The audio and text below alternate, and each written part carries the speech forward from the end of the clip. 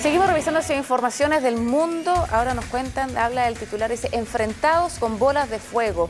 El fuego se hizo presente en diversas calles del municipio de Nejapa, esto en San Salvador, cuando dos bandos contrarios se enfrentaron con pelotas hechas de trapos y alambres remojados con combustible en el marco de la celebración de la tradicional de las bolas de fuego.